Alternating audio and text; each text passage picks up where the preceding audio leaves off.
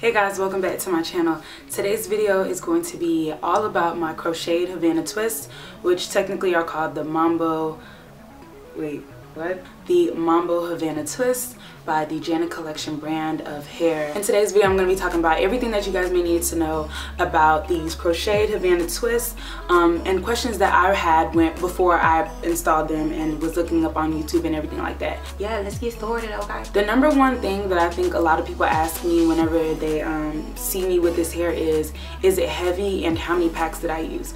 So to answer the first question, no, it's not heavy but it's not super lightweight like everybody on YouTube is saying honestly. Well that's just my personal opinion. They can get heavy depending on how many packs you use um, and how close you put them together. Right now they're not too heavy but like when I put it up or something like that you can feel its weight. And it's nothing like having big jumbo braids in your hair. Of course not but um, it does hold weight. So uh, the answer to is it heavy? Yes it's kind of heavy but it's not super duper duper heavy. So yeah.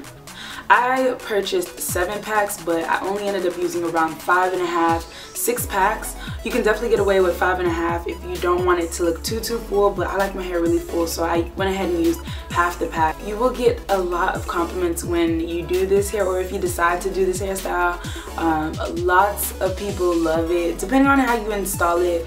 Um, honestly I feel like there's a technique to doing crochet Havana twist or crocheted hair period just so that it doesn't come off crochet like um, you know you guys know when you do like crochet hair you can see like the parting of your braids and stuff like that. Like you can see where their braids are beginning and the lines and everything like that but I don't like that look. I don't care for it. So in this technique you guys will see how I crocheted the hair onto not just the braid itself but the the space. Like you know how you'll make a braid and then there's the braid in the middle and then your hair that leads up to the braid. That's where I put the crochet uh, that's, that's where I put the Havana twist so that it's not just in a straight line and it actually fills in the spaces or whatever so just so that it doesn't come off too obvious that it's crocheted hair and honestly nobody ever really knows that it's crocheted hair a lot of people have been catching on now just because it's been going around YouTube and it's been going around um, the Tampa area so a lot of people know about it but beforehand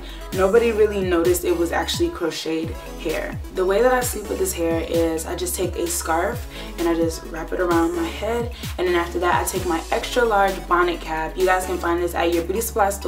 It's not that comfortable sleeping in, I'm gonna be 110% honest, but for the most part, you'll get used to it. I guess you can wash it. I personally have never tried it.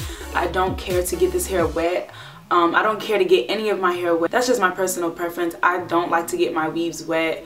The thing that I do when I get in the shower to keep make sure my hair isn't getting wet is I do the same routine as my nighttime routine but the only thing differently that I do is just I add a plastic bag underneath it just to make sure the back of my hair doesn't get wet and then when I want to wash my face I just wash my face out the shower um, just for the sake of the front of the hair. So for the most part I always keep my hair up in the shower. I don't let it get wet but my sister has and she had the same install and she wets it all the time. It doesn't unravel for her and it doesn't mess up or tangle or become matted or anything like that. So it worked for her, but I personally have never tried it on myself. So for the braiding pattern of this hair, I wanted to do something different because normally people would just braid the hair going in cornrows straight back. What I noticed is that I already had this hair installed. Having it braided straight back and in the front getting messy, it kind of is a hassle having to take out all your braids and stuff like that. So what I did, I wanted to have my hair braided half going half right here and then going up this way because one if you guys seen in my styling tutorial on these twists you guys will see my end braid showing and that was so annoying and when I was filming that I didn't have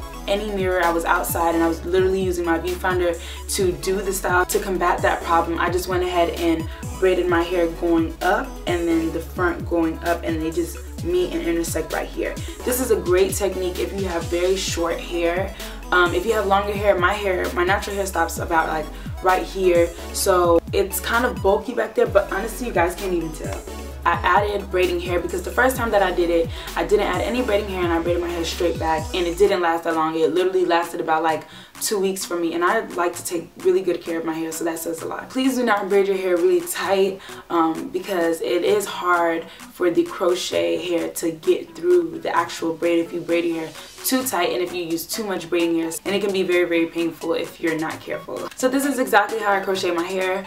Um, I like my braids a little tight but in order to combat the problem of getting the hair through the underneath the braid I just wiggle the crochet needle um, so that when I'm pulling it it's not just a pull because you can rip out your hair so just make sure you're careful and just slowly but surely you just wiggle the crochet needle to get the hair through your hair.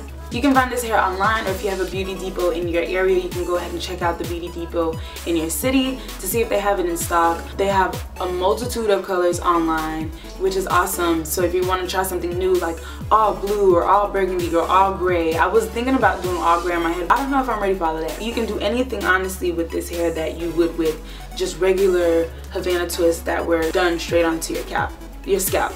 I said your cap, wow. I believe that is it for this video. If you guys have any more questions, feel free to leave them down below. I will leave links to where you can get this hair, the crochet needle, and the bonnet, the extra large bonnet down below. If you guys haven't checked out my how to style crochet Havana I'll make sure I leave that link down below. Subscribe to this channel if you haven't already, welcome, welcome. And like this video if you liked it and if this information was helpful in the process of you getting your hair done like this as well. So I'll see you guys in my next video, which is next Sunday. I upload every Sunday, so stay tuned for that and I'll see you guys next time. Peace.